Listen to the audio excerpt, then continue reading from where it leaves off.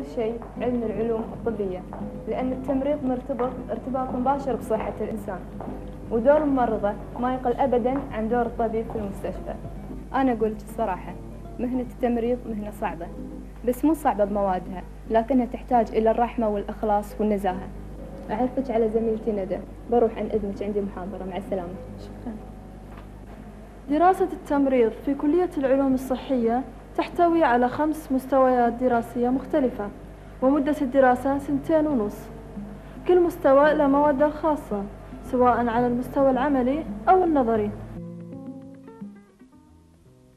أقسم بالله العظيم وأنا أخطو أول خطوة في ممارسة مهنة التمريض أن أتحلى بالأمانة والإخلاص في عملي وأن أتمسك ما حييت بالشرف والأخلاق الحميدة.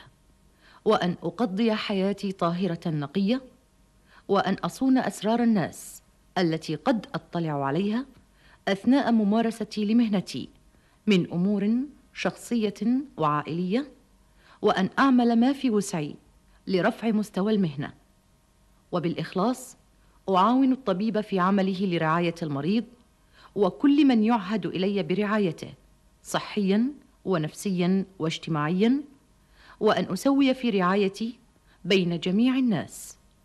وعلي أن أتذكر دائما أن الله يراني ويراقب تصرفاتي. فإن غفلت عين العبد فعين الله ساهرة. والله على ما أقول شهيد. زائد أن كل مادة لها التدريب العملي سواء بالمختبرات العملية بالكلية أو التطبيق الميداني بالمستشفيات.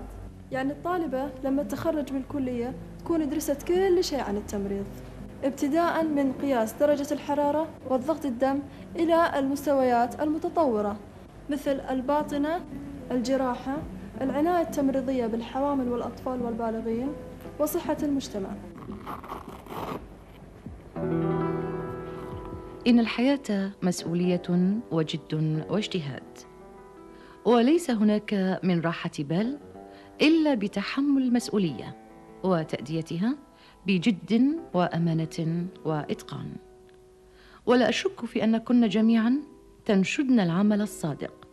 وضعات نصب أعينكن واجبكن ناحية المريض وما يتطلبه من رحمة وإخلاص وشفقة. وما تتطلبه مهنتكن من تعاون وعمل متقن.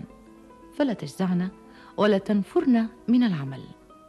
وعلمنا أن اجتياز الفترة الأولى من تجربة الحياة العملية تتطلب التأني والصبر والاطلاع وسعة الصدر والخوض في أمور العمل على أسس صحيحة. وهذا يكفل لكن مجالا علميا وعمليا ومكانة مرموقة من شأنها الرقي بمهنتنا السامية ورفع مستوى العناية بالمريض. وبالتالي الحصول على مستوى صحي راق يتناسب واهتمامات وإمكانات الدولة المالية والمعنوية والحضرية. شيخه عيسى المثن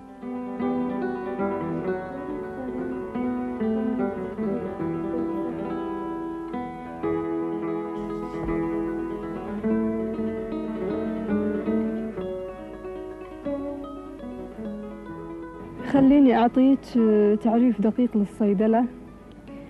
آه، الصيدلة علم وفن آه، لمعالجة أمور الأدوية والعقاقير والمستحضرات الصيدلية. والحاجة بالكويت كبيرة جدا للكوادر الفنية المدربة في مجال الصيدلة مثل تحضير الأدوية والتصنيع الدوائي والرقابة الدوائية. بالكلية الطالب ياخذ كل المفاهيم الأساسية والضرورية في مجالات علوم الحياة ووظائف الأعضاء علشان يعرف آثار الأدوية على الجسم. Now for the results of the disinfectant, examine under the microscope. Okay? فأبي كل وحدة تطالع النتائج وتسوي لي الجرام ستين وبعدين راح نسوي the new test of today.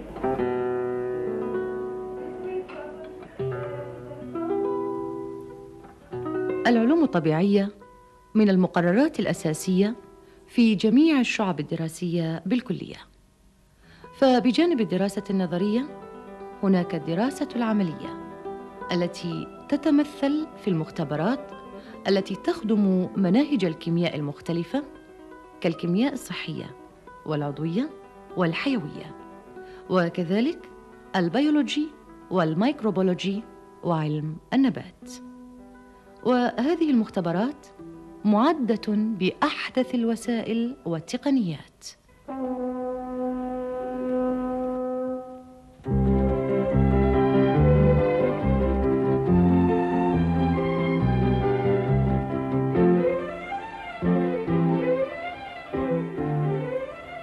هذا الفأر يبدو أقل نشاطا من بقية زملائه.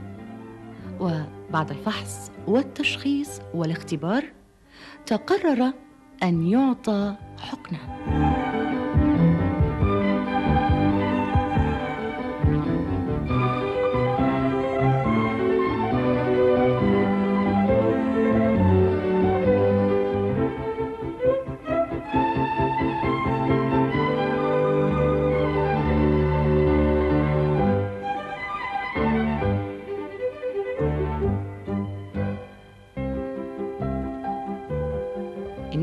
أكثر نشاطا مم كيف حالك الآن؟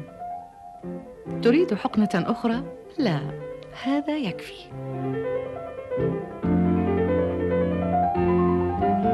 يوجد الآن أكثر من ثمانية آلاف دواء يلازمها التغيير والتطوير بصورة مستمرة بذلك يمثل التدريب الميداني الجانب التطبيقي لربط الدراسة النظرية والعملية بالكلية بالسوق الدوائي في مواقع العمل سواء في المستشفيات والمراكز الصحية أو مصانع الأدوية والمستودعات الطبية المركزية.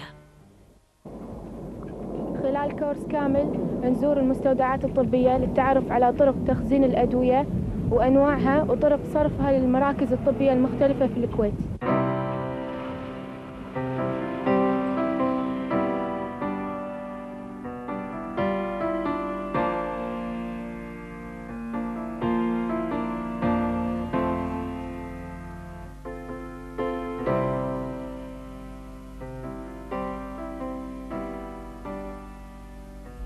المنهج ممتع وجميل. يقضي فيه الطالب أربع فصول دراسية خلال عامين. يتخرج بعدها حاصل على شهادة دبلوم فني الصيدلة عشان يعمل في المستشفيات والمراكز الصحية ومصانع الأدوية والمستودعات الطبية ومركز الطب الإسلامي أو أي مجال في الصيدلة يختار الخريج.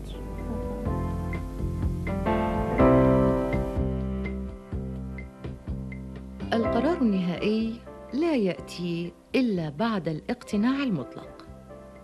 نحن نترك لهذه الفتاة حرية القرار بعد زيارتها لآخر الأقسام من حيث التسلسل وأحدثها من حيث الإنشاء وهو قسم صحة الفم والأسنان. طبيعة دراستنا في كلية العلوم الصحية تكون دراسة لمدة سنتين تخرج الطالبة فيها تحامل شهادة دبلوم. والدراسة في قسمنا قسم صحة فم وأسنان تكون على نظام سنوي وليس نظام كورسات لمدة سنتين. وطبيعة العمل تكون طبيعة عملها تكون إرشادية وقائية وعلاجية. الإرشادية والوقائية ممكن خلال تكون تروح المدارس إرشاد طلبة المدارس تعليمهم طريقة تفريش الأسنان كيفية الوقاية من التسوس ومن الترسبات الجيرية اللي تكون على الأسنان. وعلاجية يكون في العيادات عيادتنا في المستشفى إزالة أيضا الترسبات الجيرية وتنظيف وتلميع الأسنان بعد الحشوات ممكن أخذ الأشعة للمريض كثير من الناس يعتقدون أن إحنا خريجين كلية العلوم الصحية إن مساعدات ولسنا كفنيين كفنيات. عملنا جدا ممتع وليس كما يعتقد كثير من الناس بأن فني الأسنان فقط أنه يح- يحمل العدة يعطي حق طبيب الأسنان ويطلب منه. بالعكس إحنا لما نشتغل ونتخرج راح يكون لنا غرفة بروحنا معانا المساعدة وهي اللي تساعدنا في تناولنا المعدات. في قسمنا صحة فم وأسنان تتخرج الطالبة حاملة شهادة دبلوم فنية أسنان وليست كمساعدة. وطبيعة العمل راح تكون جدا ممتعة إذا كانت حابة عملها. راح تكون جدا ممتعة لها will not be distributed because they are concentrated. On the other hand, if they came wide angle or wide surfaces or showing surfaces on the teeth, all the surfaces when they come will be distributed.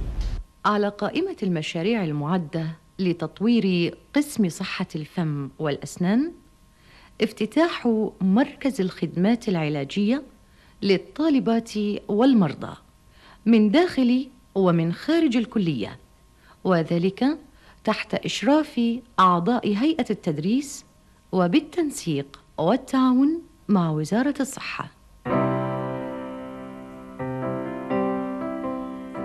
هذه المكتبة تحتوي عشرة آلاف كتاب باللغة العربية وباللغة الإنجليزية. وهذه الكتب مصنفة بأكثر من نظام.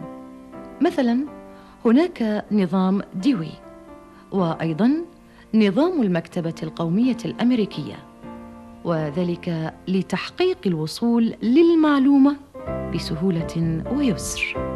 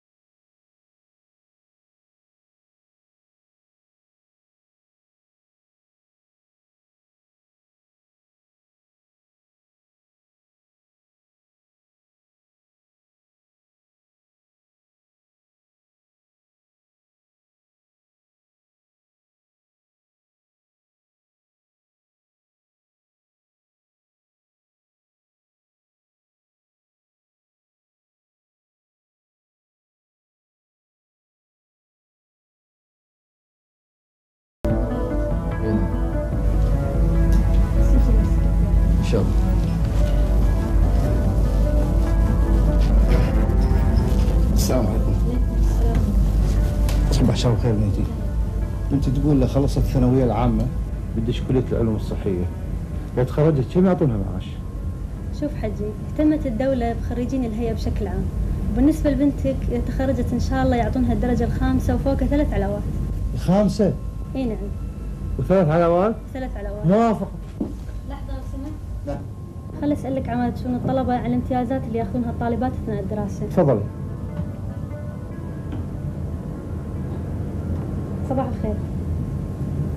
عندي ولي أمر يسأل عن امتيازات آه، الطلبة الدارسين في كلية العلوم الصحية ممكن أعرفها؟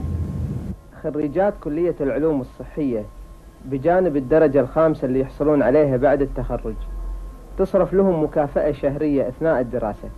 تتراوح ما بين 100 إلى 150 دينار شهريا تبعا للتخصص. وأيضا إتاحة الفرصة أمام المتفوقات لمواصلة دراستهم سواء للحصول على البكالوريوس أو ما بعدها. وكنوع من التشجيع وكسب المعرفة.